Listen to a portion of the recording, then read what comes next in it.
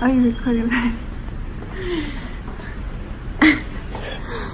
well, you know what this means. I'm just kidding. I'm having contractions, but um, I don't know if they're gonna admit me yet because I'm like two centimeters open.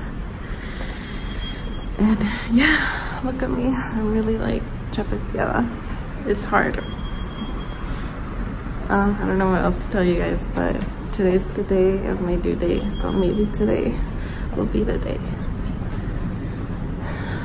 I'm having contractions every five minutes or so. And I'm only like two and a half centimeters open. So right now they have me walking to see if I can open up more. If not, they're gonna send me home. And I really don't want them to send me home. I just wanna get the damn epidural already. Now I'm having a contraction right now.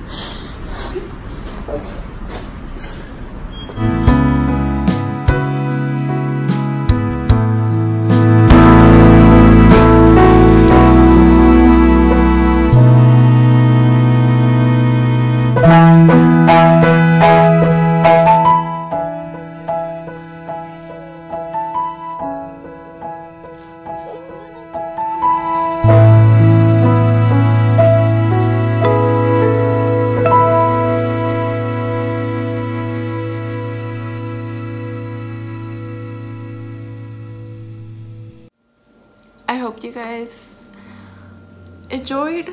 I don't know if that's the word, but just get a perspective of how birth is. Obviously, you guys didn't see the actual birth, but you guys could kind of get a concept of how intense it gets. But lucky me, I got my epidural really late though. I'll explain that in a bit. But welcome back. It's been two weeks. My baby is 14 days. He's right here with me um i don't know if you guys can see it's this is kind of dark. He's sleeping right now and i know he has a pink blanket. He keeps peeing on his on his blanket so now i'm just using luna's for right now. And luna is here obviously too. Eating some doritos. So yeah guys i gave birth two weeks ago so when I was last recording, um, I was telling you guys that I was feeling cramps that morning and that was on a Friday. That was the 8th. And so what happened later that day was that I ended up showering and then I went to the bathroom and when I wiped, I saw that I had blood, blood and discharge. So um, I had just lost my mucus plug that day too. And so I obviously knew I was going into labor because those cramps weren't going away. They were really inconsistent that day though because they would come like every eight minutes and then they started coming like every hour and then every half hour. Like it was really inconsistent. So that day consisted of me being at work and then me going home and just preparing for the baby because I hadn't even done his crib yet or my bag or his bag. Like I had things to get done. So um, that night, me and my boyfriend were just fixing the room and fixing the crib and just cleaning everything out. I didn't even do my bag or his bag until like 20 minutes before I left to the hospital. Um, so yeah, so um, at 8 that night, um, the cramping was just getting a little more consistent. And so, you know, I was telling my boyfriend, like, you know, like, I think, like, by the end of tonight, we're gonna end up going to the hospital because it's just getting, like, really intense and I don't know if I can, if my body can handle it. And um, so yeah, I already knew, I already knew it was gonna happen. I couldn't go to sleep because like every time I would lay down, it would really hurt, like when the when the contractions would come, and so I couldn't even go to sleep. and so whatever that night i was just like trying to upload my last video so if you look at the date it'll say the 9th or something but it's because like i uploaded it that like madrugada but it's because i just couldn't go to sleep i it hurt too much and so at 12 i guess i don't know if i read it so at 12 it's just when everything was getting really intense for me and I didn't know what to do. So I told my mom like like I don't know what to do anymore. Like it just it just hurts. Um and she was just like just go to the hospital like you know time your contractions. And I was timing them but they were like still kind of inconsistent. Like it was saying eight minutes apart and then it was saying five minutes apart but then it would go back to six minutes apart. And so I didn't know what the fuck I was doing. So yeah. So I started like timing my contractions and I couldn't even lay in bed like I would just lay in bed and I would just like get like sharp ass cramp and I was just like get out of bed like as quickly as possible. For me not that like a big ass belly trying to get out of bed. And I was just like pacing back and forth in my room and, and Luna was already asleep so um, it was just me and baby and so I decided to call my baby daddy and I was just like you know what? Like I think it's time like I think it's time to go to the hospital because like I just can't take the pain anymore so like let's go and and I was just saying like well I don't want them to send me home but then he was just like you know we'll just wait outside the hospital if they do tell us to go home or whatnot. And so I was like, okay, well, just like prepare your bag. Because he had told me his bag was already ready. So it's just like, you know, get your, just get here already, you know, like, and so those three, five minutes that he took to get over here, I quickly packed my bag and I quickly packed baby's bag. So all my all my stuff and his stuff was like really rushed. But um, but yeah. Once he came, he took everything and my mom me dio bendición and, and we left. And that was like around 1, 1.30. Um, we got to the hospital. I told them that, you know, I was having contractions. So they put me in the room and she told me she was going to check how dilated I am and she did and I was only open like two centimeters and a half apparently and yeah and then I don't know what we were waiting for I guess she was I guess she went to go talk to the doctor or something of like what they were going to do with me because I wasn't even that dilated and yeah we were just waiting in the room and the contractions were getting worse. And uh, my boyfriend's family ended up just coming over. So they were there. Um, his mom his sister and his cousin were there. And yeah it was just like a waiting game. And yeah I made it clear that I wanted epidural so um, but they couldn't give me the epidural because I wasn't even admitted to the hospital yet uh, so she came back and she just basically told me that I had a couple options. Since I wasn't dilated enough, I had to be at least four to get admitted into the hospital. They told me I could either get meds and go home and just wait, or I could just walk around for two hours and see if I could open up a little bit more and to see if I was even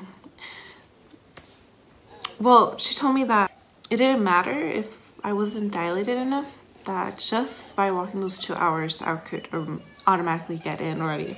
And so I was like yes I'll walk whatever like just like just let me in like I don't want to be waiting outside you know I don't want nothing happening. So yeah. So we started walking at first it was okay because like I could still walk and the contractions were like inconsistent so they weren't every five minutes yet yet. And um and yeah and there was this other pregnant girl walking around with her boyfriend or hubby, whatever. And so it was kind of awkward when we were meet because it was just like a u-shape pathway you know the contractions were getting worse so every time I would get a contraction, I would just like hold on to the wall. Like at first my baby daddy didn't even know what to do. Like I se quedaba parado, like just looking at me and I'm just like, like, haz algo, like, you know, you're the one who did this to me again. Like, do something.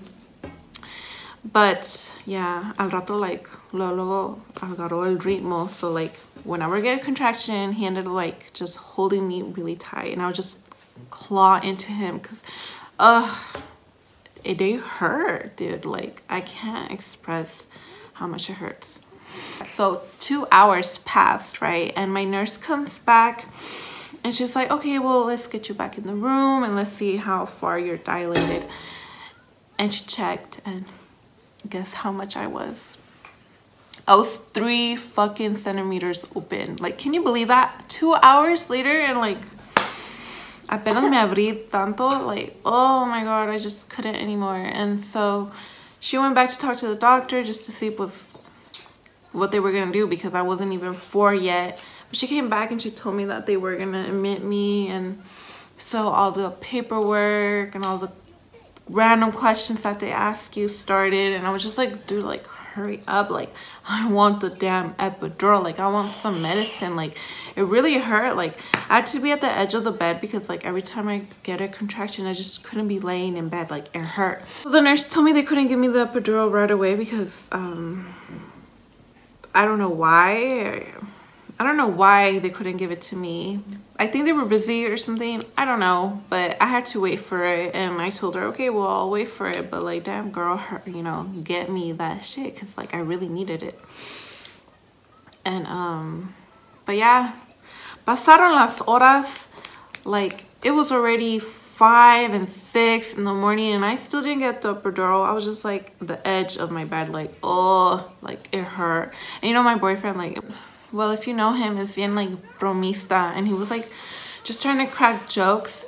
But I was just like, like, dude, like shut the fuck up. Like, I don't want to hear you like tell me joke. Like, I'm super mad right now. Like, don't even like fuck around. Like, this is serious, you know?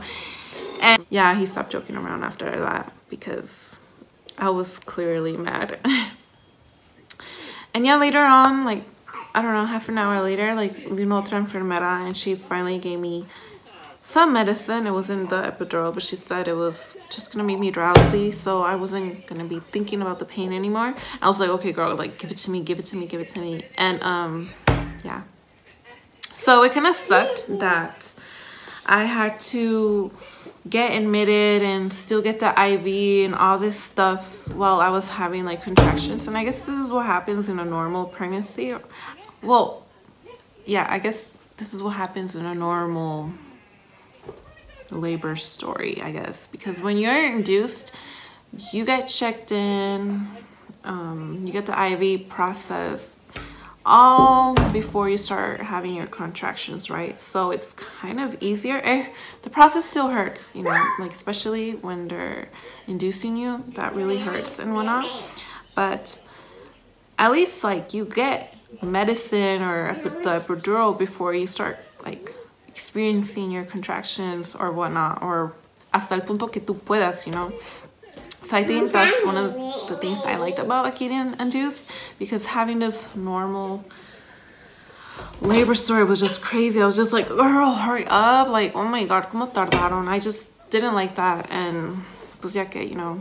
So once I did get the epidural, it was around 8. They didn't even check to see how much I was dilated at that point. They just said like, well, she was this dilated at this hour. So like, she must be already this big you know like it was like really general they, they didn't even check but whatever um so my last nurse i ended up getting um she was actually the one checking shit so um so after i got the epidural i went to sleep because that's why i really wanted the epidural because i knew i was never going to go to sleep if i kept it going and thank god I got the epidural, the epidural because I slept like a baby. Like me and my boyfriend slept like a baby. And then like his familia was in the room and they were just like awake, but we were like already asleep.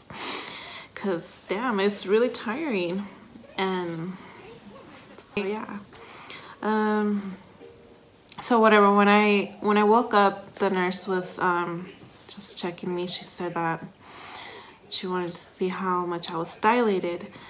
And she said i was like six six um, centimeters dilated. And i was like oh okay then.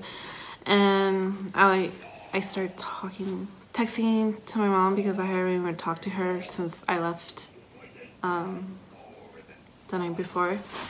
And um, I was just telling her like, oh, well, I'm six centimeters dilated, so like, uh, unas cuantas horas. Because the nurse has told me like, oh, probably like in two hours or less, like you'll be having the baby. So I was just telling her like, in two hours or less, mom, I'll be having the baby. Because she wasn't there for Luna's labor. Like my mom was not there. She came at the moment where Luna came out. So she missed the whole thing. And so I was just telling her like, you know, I really want you to be there. So I'm telling you the time. My sister wasn't even here. She was like in another city. And my sister was like, well, I'm gonna go pick up my mom and we're gonna go see you. And I was just like, oh my God, like, no. Like, I already knew something was gonna happen. Like, I already knew they probably won't, they weren't gonna make it because I'm just like, oh my God, like, it's always excuses. Like, oh, my mom this time around is so close like she should just come and so I told my mom like you know like just come. And she was like no like I'm gonna wait for your sister. I was like okay. So whatever with them. Uh, never mind.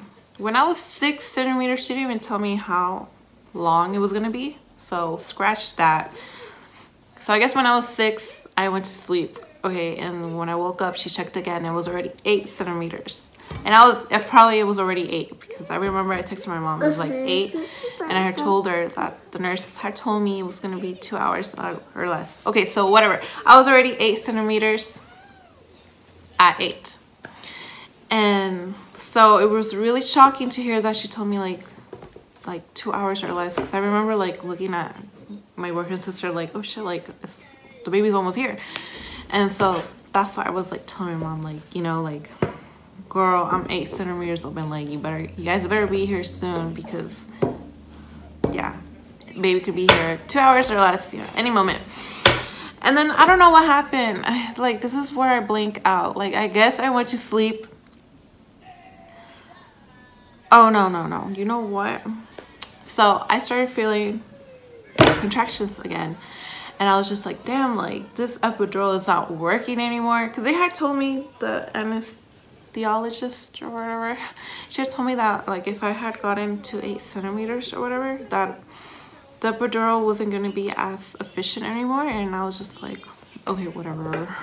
Like I doubt that.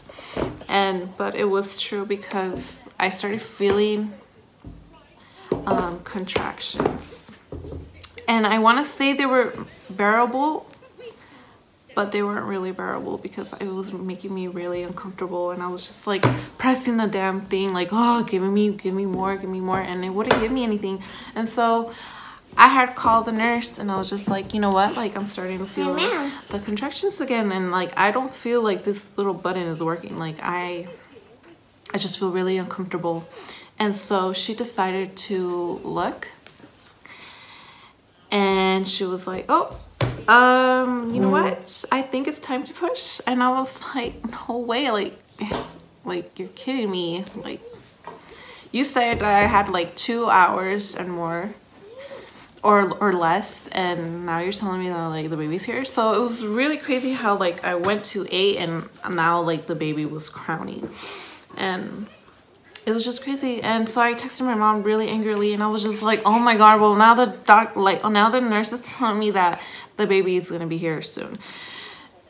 And that i have to push. And so i was just kind of like really irritated with my mom and my sister at that point because like i really wanted them to be there. And obviously again they weren't gonna be there. Well my sister was there the first time but my mom wasn't. And i really wanted my mom. So whatever. So it was time and it was just like my boyfriend and his sister and the cousin uh, eventually came over and so the nurse told me to push to give her one push and I did and she was like okay like stop right there. Because I guess the doctor wasn't there. So the other girl who I had seen walking around the hospital was actually giving birth at the same time as me and so the doctor was over there. So my nurse was like okay don't push yet to like I'll be back and I'll tell you to when to push again. And so she, she left I was just like there with like my boyfriend's family and I was just like, well, what the heck? Like they just hella left me. And so they come back and it's just like hella more nurses and the doctor. And I could just overhear like, oh yeah, the, I guess the other girl was taking a little longer. So yeah, the doctor came to me just to see like if I was able to push it out, push the baby out. And yeah, I did. Like I feel like I pushed about four or five, six times. Um, there was a point where I felt the baby was just not gonna come out because I just felt that he was just too big. Because Luna was really small. She was like five pounds. And I just felt like this baby was like bigger and and I just said like, oh shit, like I was just like I told them like I don't think I can push this baby out. Like he just feels too big. And they just kept telling me like push push push. Like every time i would have a contraction they would tell me to push. And and yeah and this time around they didn't tell me like oh do you want to touch the baby? Because they told me that with luna like oh do you want to feel her? And i and they and i did. And it was just like one of those things that made you cry.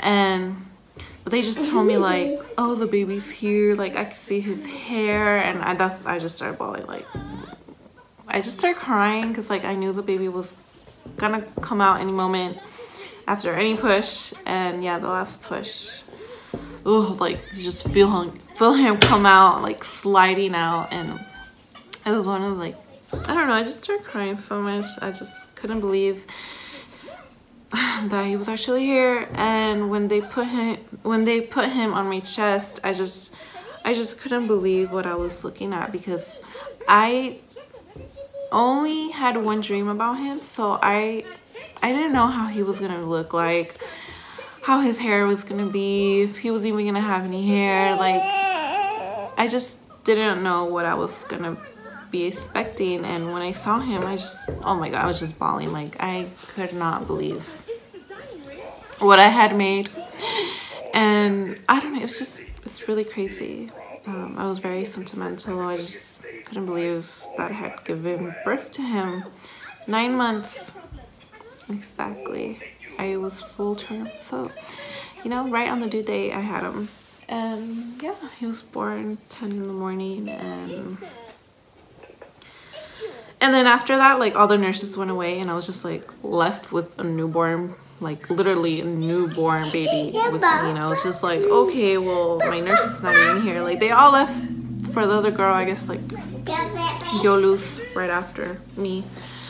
And yeah, it was it was crazy. That was my birth. Let me show you him.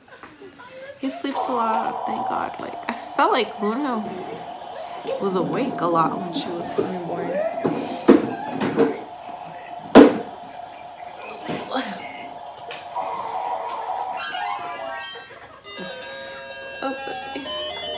He loves his pacifier.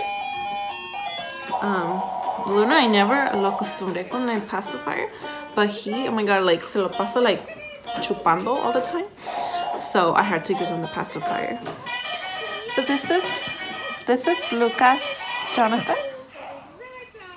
And don't let his hair fool you because it looks black, but I feel like it might be um like dark brown like on the edges so they made like kind of blonde so i'm like oh my god I, I don't know.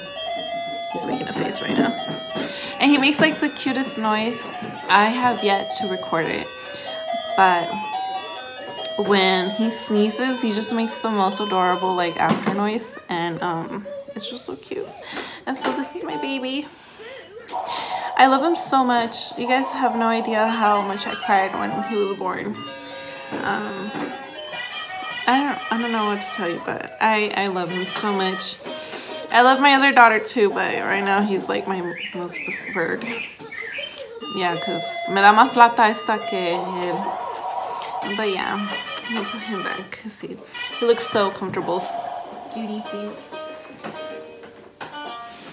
Ya le va a tocar leche anyway, so let me cut this short. But that was my labor story. Um, so blessed to have another child. And right now, you know, I'm just taking time for myself um, to recover. Mira esta cabrona.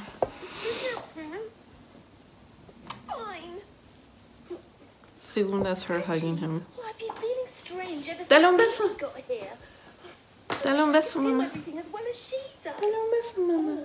What's that feeling when you wish you could do something as well as someone else? Okay, mamá. Ya no le toques ahí. Um, so yeah, I'm just so blessed to have my kids. Um, now it's time to recover and think of the new goals that I need to accomplish because you know we want to move out so like that's one of my biggest concerns next. And after that is what I'm gonna be doing work wise and school wise um, it's funny because this medical assistant program called me on Friday so the day I started feeling my cramps. And she was just like telling me that school starts in April or something and that if I was really interested in applying and I really was but I, like me da vergüenza decirle que like oh you know like right now like I can't talk to you or, or I can't come visit the program because like estoy pinche embarazada like me dio vergüenza decirle eso. But yeah guys um have a beautiful day. Thank you so much for watching. Um yeah i'll see you guys soon. Bye guys